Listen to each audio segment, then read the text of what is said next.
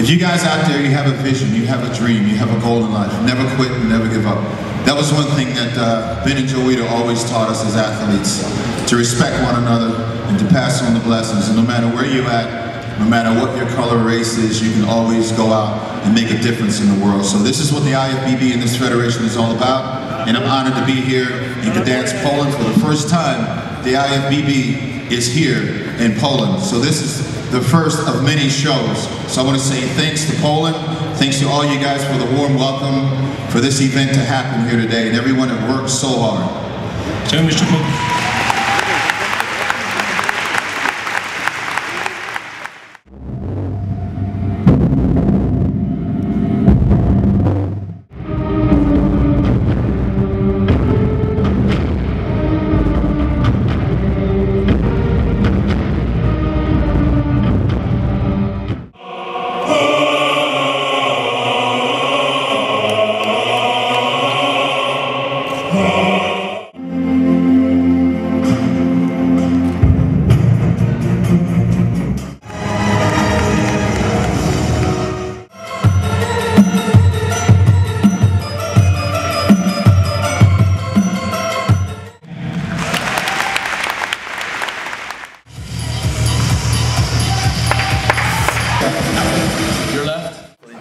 Meet and greet.